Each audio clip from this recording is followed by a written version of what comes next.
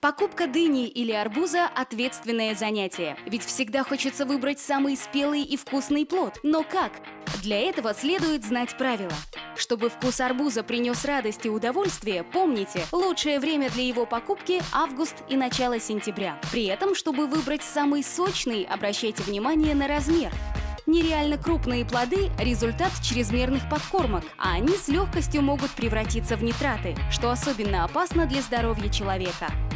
Мелкие – также плохой вариант, ведь они не полностью развились, соответственно, недостаточно вкусные.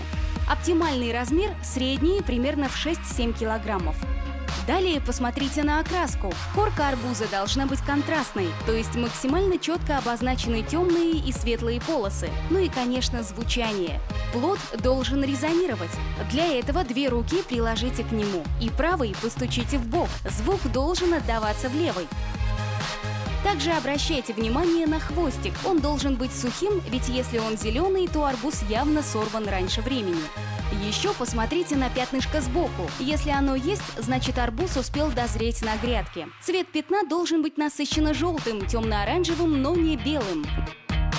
Что же касается дыни, то здесь сначала обращаем внимание на внешний вид. Хорошая не должна быть в трещинках и пятнах. Через них могут попасть болезнетворные бактерии.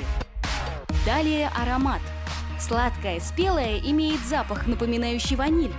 Если же вы понюхали плод и не почувствовали его, он недозрелый. Переспевшая дыня слегка отдает гнилью, а недозревшая – сыростью. Носик, успелый и вкусный, должен быть умеренно мягким. Слишком твердый вариант – признак неспелости. Как и в случае с арбузом, выбирать эту бахчевую культуру можно и по звуку. Запомните, спелая дыня дает глухой хлопок, а не звонкий, как у арбуза.